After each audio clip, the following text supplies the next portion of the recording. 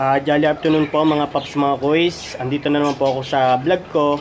So sa mga hindi pa po nakakapag-subscribe, paki-like and subscribe na po. John Mark Karaliman. Yun po ang name ng YouTube channel ko. Ah, welcome po sa mga newly subscriber, sa mga dati na pong nag-subscribe. Salamat po. Sa mga magsasubscribe pa lang, maraming maraming salamat po.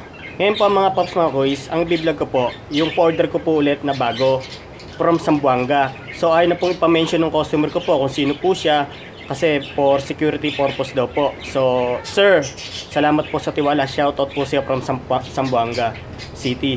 Basta po mga taga Mindanao po talaga. ah, mga smooth kadil po talaga yan. Sa, kaya maraming maraming salamat po sa mga regular customer ko po dyan. Sa Surigao del Sur, sa Osamis, sa Sultan Kudarat, tsaka sa dyan po sa Sambuanga. So sir, ito po yung order mo sa akin na Wii 1911 na high kappa type R. So, mga pops mga kuys, sa mga viewers po, hindi po siya tunay na barrel or live. Isa lang po siyang airsoft or toy gun. Ito po.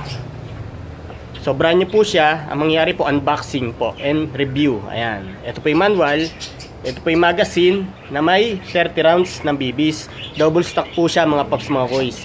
So sa mga magtatanong, di battery po ba yan kay JM? Mga pops mga kuys, hindi po siya di battery. Ah, gas blowback po siya. Ayan. Ito po yung pistol na naka-plastic, press na. So, tatanggalin ko po. Pasensya na po sa mga viewers. Isang kamay lang po gamit ko. Wala po akong cameraman ngayon. Ito po yung sticker na galing quality check. So brand new. May sticker na made in Taiwan. Ayan. So ipapatong ko po dito.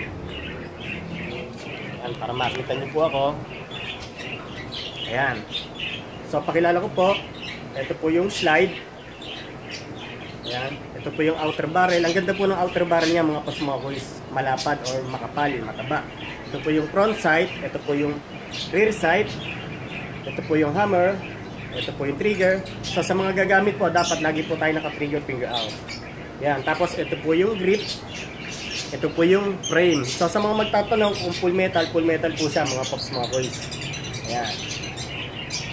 So ito po yung slide release. Ito po yung mag-release. So yun lang po. Mabilis lang lang po mga pops mga boys. Ah, tapos kasi habol ko pa siya sa shipping. So last na lang po. Tactical na po siya. Bakit kamo? Kaya po siya tinawag na tactical. May railings na po siya. Pwede po siyang kapitan ng flashlight or laser. Ayan. Sample lang po. Ayan.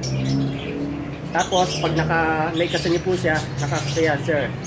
So, kailangan kalibitin niyo po yung trigger para ma-unset siya. So, yun lang po mga pops mga boys. Thanks for watching. Keep safe. Think. Tactical.